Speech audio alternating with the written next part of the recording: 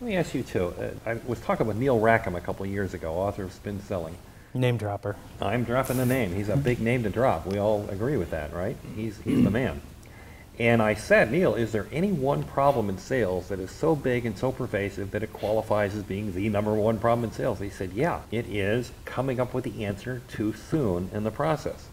So, and, he, and basically that's what spin is about, you know, ask questions first. And you see that repeated in basic human psychology. People do not want to be told what to do until they've been heard by you. We all hear that old phrase in sales, which is really true. People don't care what you know until they know that you care.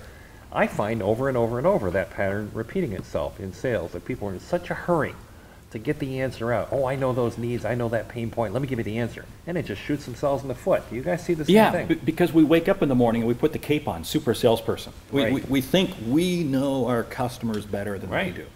And, because the argument. And al- maybe we do, Well, you know, no, but- I- yeah, now I'll say garbage. I'll say ninety-five percent of the time, no. And that's one of the arguments that, or one of the positions I always say is like, how many of us really spend time when we're across the desk from a customer? We ask them a question. Yeah. And they share with us a comment, but then we race on to the next question. True, true, true, true. Shut up. Right. Ask them the follow-up question. Right.